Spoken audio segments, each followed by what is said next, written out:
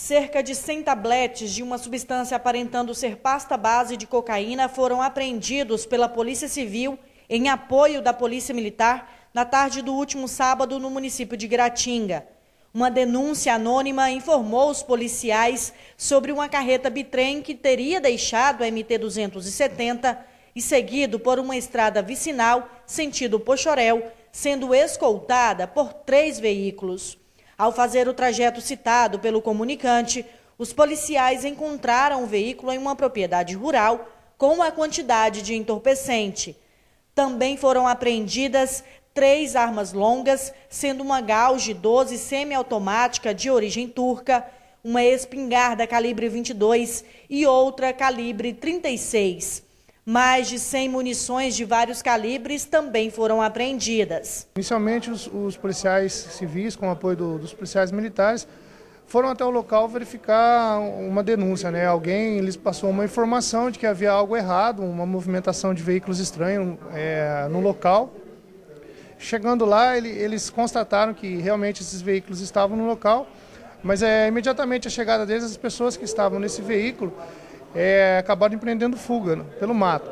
E em continuidade é, na, nas diligências, os policiais chegaram até a, a sede da, na casa da fazenda onde, onde esses veículos estavam e no local foi apreendida é, essa grande quantidade de droga, aproximadamente 100 quilos de pasta base de cocaína, mais essas três armas. E as pessoas que estavam no, no local, no total de cinco pessoas, foram detidas. No município de, de Guiratinga foi apreendida essa grande, grande quantidade de entorpecente, né?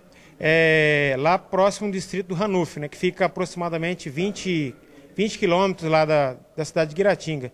É, a princípio, a Polícia Civil recebeu uma denúncia anônima, né, é, e para dar o apoio lá, ela solicitou a, a guarnição da polícia, o tenente Góes, lá comandante do primeiro pelotão de Guiratinga, deslocou até o local lá, a Polícia Civil mais a Polícia Militar, é, na, chegando no local, foi visualizado lá uma carreta, né, e, e o motorista lá que estava dirigindo essa carreta estava tendo dificuldades né, para conduzir esse veículo. Né?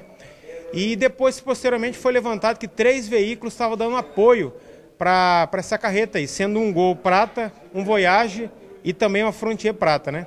Após uma varredura e várias abordagens lá e várias diligências, né, tendo visto que a região é uma região muito difícil, de difícil acesso e também não funciona telefone e também não funciona internet lá, foi possível localizar essa grande quantidade de entorpecente, sendo 90 tabletes de, de pasta base aí, é, vai ser periciado depois, mas aparentemente parece ser cocaína, e três armas de fogo, na qual vocês podem acompanhar pela imagem aí, sendo uma 12, é uma espingarda e calibre 22 e uma espingarda calibre 36, dois canos aí. Ainda de acordo com as informações, a droga está avaliada em um milhão de reais. Sim, é uma apreensão grande, um valor aproximado de cerca de um milhão de, de reais em droga que a Polícia Civil e a Polícia Militar conseguiram tirar de circulação.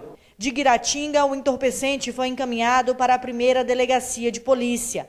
Cinco pessoas, entre elas uma menor, também foram conduzidas para a primeira DP em Rondonópolis. É, as munições também chamam atenção a grande quantidade e, e as armas apreendidas, é, sem contar as armas que estavam impostas às pessoas que fugiram.